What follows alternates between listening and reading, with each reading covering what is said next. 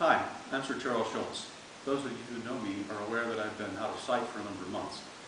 I've been working on a project, and this is a project based on something that's fascinated me all my life, artificial intelligence. We're now to the point where I'm ready to show what I've come up with. And the question is, what format do I use? The answer came in the form of two of the books that I've written.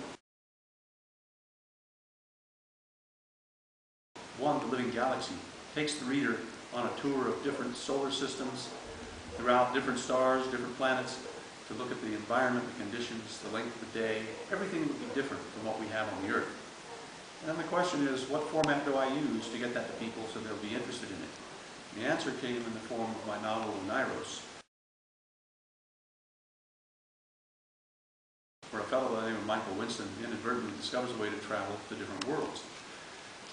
He solves problems, encounters mysteries, does a lot of exploring. And it seems very clear to me that the format of a game is the best way to present it. An environment where you play, you have fun, and you learn as you're doing it. How many hours every day do your kids spend on the computer doing what? Playing games, chatting with people on the internet? What if you could get them into a game so interesting and engaging that they didn't want to stop? Because, you know, play is the most powerful form of learning. Along the way, they're going to be learning about science and electronics and physics and astronomy and biology and logic, all the things that they need to know, yet it's very difficult to get out of the traditional education today. This is what the Oneiros project is all about. You see, as you're playing the game, you're not the only one there. My AI is the avatar in the game that acts as your guide and teacher.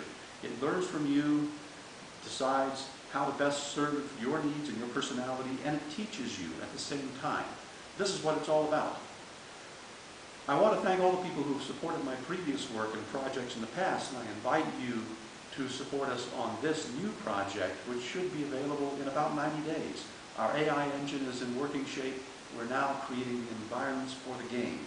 We want to engage you.